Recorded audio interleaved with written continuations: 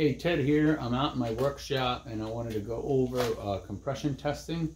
So compression testing is something a student will do a lot in our program, as well as you as technicians out there will do it. Um, if I have any new people coming on board here that are learning how to do this, I'll give you some pointers. Um, it's pretty important that you do it correctly. You don't make mistakes. You don't leave things undone. Make sure you put the wires back in order. So I'm going to go over some of those things with you to hopefully clear up some of the mistakes you can make, the easy mistakes you can make. Um, first thing is, the firing order is the spark plug wires. Now I have a simple four cylinder here on purpose so that we can make it so you can see the firing order easily. So the firing order starts with the front of the engine. Number one's always in the front. And most all GM distributors, which most of your marine gas engines are, rotate clockwise. Then what you want to do is take number one spark plug wire and remove it. And you want to label it. And what you want to label it is take a piece of tape, put it on here and label it number one. Now the other thing that I like to tell students that are new at this is to determine the firing order. And the easy way to do that is just look at the spark plug wires and follow them. So number one, follow this wire, goes to cylinder number three. They're in sequence. So number three, then number four, and then number two, obviously. So I wrote on here, this is number one. I can't make that mistake when I put this one back on, okay? And then I wrote the rotation of the distributor that's clockwise. So if you're new to this, this way you know that they go in a clockwise format. The other thing that you can do is just take that label number one, get a little notebook and write it on there. That's always good too.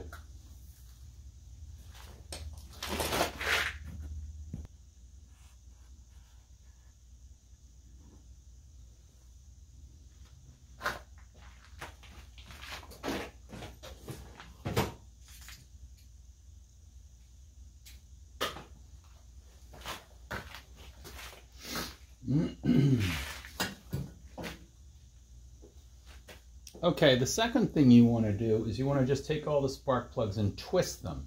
Twist them back and forth till you break them loose from the spark plug. That way you don't rip the rubber or damage the insert. Twist them good. Take them, twist them till they come off. Twist and pull. Now, the last spark plug being the hardest one to get at is always the one that's difficult, and you want to work until you get that one twisted. Whatever you do, never pull on the wire itself. Always grab the boot and pull on the boot. Don't use pliers if you can help it. That's for sure. You're going to damage the insulation on the rubber. So once you get all the spark plug wires off and they're all labeled, they're out of the way. Now what you can do is disable the ignition system. Okay, so the next part is the coil. What we need to do is we need to disable the ignition system so we don't have spark while doing a compression test if you have this type of coil, which has a couple of connections on it, the top connection has a clip on it. Pull the clip up and pull the connector off. If you pull the connector off that has the purple wire and the gray wire, then that will disable the coil so you'll have no spark. If you have a round tubular coil, it'll have two wires on it. You want to find the wire that's gray. Okay, one side will be purple, one side will be gray. The gray wire will be labeled negative.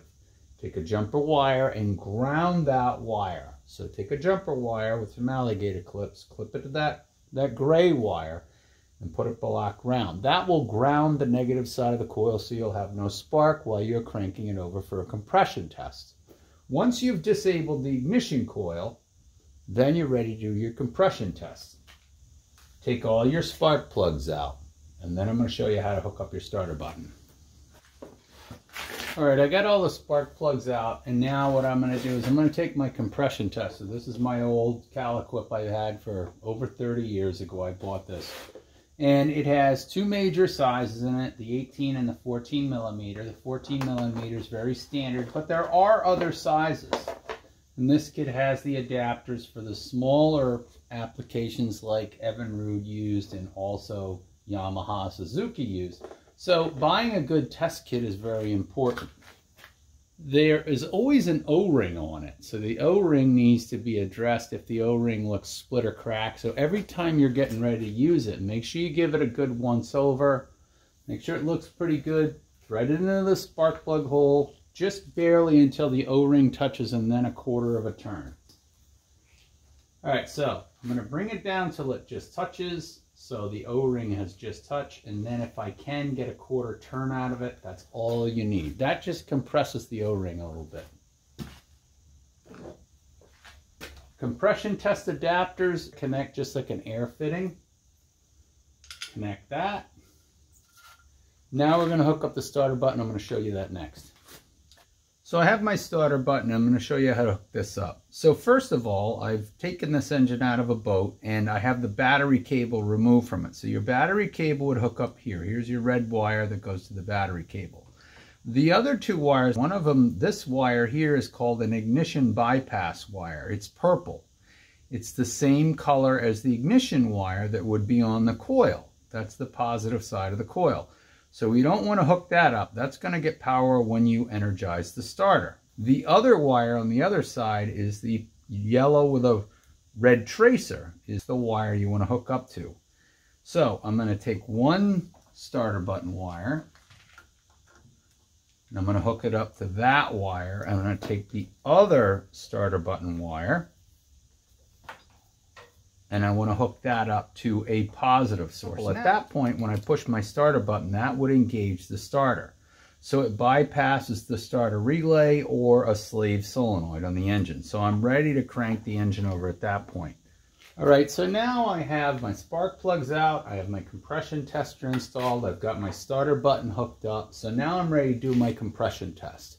So just to review, I want to make sure you understand everything in order, is to label number one spark plug wire, understand that you need to know which wires go where on the distributors. I have disabled the ignition system. I've removed the purple wire from the coil, so that way I have no spark. If I had a round style coil, then I would find the gray wire and I would take a jumper wire and ground that. The other option you can do is to disconnect your coil wire here. But the problem with that is it will still create spark. So you want to take a grounding wire, jumper wire, a spark gap tester, and you want to ground this wire as well off the coil if you wanted to do that. That's just as fast. That works well. It depends on which way you want to do it. And now I have my starter button hooked up, yellow and uh, red tracer wire, and a power source. I've actually picked it up back off here and then I'm ready to crank my engine over. So once you crank the engine over, what you want to do is you want to crank the engine over. The books will tell you to hold the wide, the throttle wide open. You won't see a lot of difference with that. So you don't have to do that if you don't remember. I forget a lot, so I forget to hold the throttle wide open. So when I crank the engine over with my starter button, I want to crank it over while I'm looking at the gauge. And when I look at the gauge, I want to see the gauge go up at least to 100 psi. If it doesn't get to 100 psi, that's below the firing level compression ratio of that engine. So I'm going to go to the next cylinder and I'm going to check that cylinder. If that cylinder goes over 100, now I know this cylinder is low. The idea is to look at all the cylinders, rotate the engine, at least you hear the, the pulse of the gauge at least four times. You want to see at least four pulses on the gauge, four to five. Some people say to crank it over till the gauge stops. That's excessive. So basically four or five pulses of the gauge needle will get you up to about the peak compression in that cylinder. Once you've got that number, then what you can do is write that down. So number one, then go to number two, number three, number four, write them all down. If one of them shows very low compression, test it again. If it shows very low compression again, test the cylinder next to it. If that cylinder goes up to normal, then you know the cylinder that you have trouble with is that cylinder. Now, if all of the cylinders read pretty close, that's good. That's what you want. The compression should be over 100 psi. Books will also tell you 80 psi. Today's gasoline, low octane, I'd like to see over 100 psi in four-stroke engines. Somewhere between 125 and 150, ideal. That's good. 150, really good. 160, even better. Newer engines, even 175. The whole secret here is when you're doing a compression test, you're looking for consistency. So I want to see almost the same value in each cylinder. So if I have 150 in this cylinder and I have 148 in this cylinder and I have 150 in this cylinder and 145 in this cylinder, they're very close. 20% is the rule. If you're over 20% drop, figure 100 psi and the other one's 80 and 100 and 100, that cylinder has issues. It doesn't mean it's not firing, but it has issues. So you're looking for consistency. That's the biggest thing I can tell you out of here. If you're doing a compression test because you're trying to diagnose a problem, a vacuum test would be a good place to start before you even do a compression test. We'll get to that later. Alrighty, so I hope this helps you understand how to hook up a starter button, how to do your compression test. Don't forget to label your spark plug number one. The reason for that is so you can put it back to number one, and then you can say, oh, the next cylinder is number three, the next cylinder is number four. Sometimes the wires on V8s are the same length. And it's easy to make a mistake because they're underneath the exhaust manifold to hook them up incorrectly. I have done that. So I hope that helps you understand how to do a compression test. It's a very important test to do. A lot of technicians, they do it their way. I like to show all my students how to do it in the proper format, especially not making an early mistake of putting the spark plug wires on backwards. Hopefully you liked the video. Give me a thumbs up and I'll talk to you soon.